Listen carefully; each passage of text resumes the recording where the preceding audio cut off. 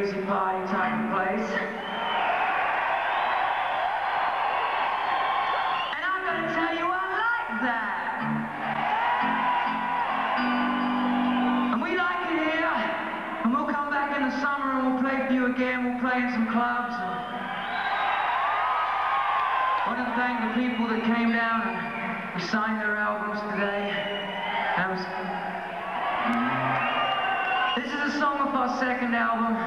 This was kind of a big hit for us in the States. This is a song called The Ballad of Jayne.